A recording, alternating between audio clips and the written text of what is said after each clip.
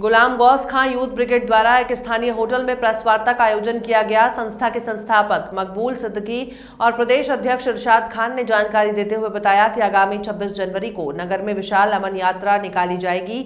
संस्था के अध्यक्ष ने बताया, सांप्रदायिक सौहार्द और अमन चैन का देश दुनिया का देश दुनिया को संदेश देने वाली झांसी नगरी की यूथ ब्रिगेड द्वारा 15 अगस्त 2018 को पहली बार अमन यात्रा निकाली गई थी। तब से लेकर प्रतिवर्ष 26 जनवरी और 15 अगस्त के मौके पर ये यात्रा निकाली जाती है। कार्यक्रम के संबंध में विस्तार से जानकारी देते हुए प्रदेश अध्यक्ष इरशाद खान ने बताया 26 जनवरी को सुबह 10 बजे से ये यात्रा बिसात खाना से प्रारंभ होगी। गंधीगढ़ टपरा, शहर कोतवाली रानी महल होते हुए गुलाम गौस खां चौक पर पहुंचेगी और ध्वजारोहण के साथ यात्रा का समापन होगा।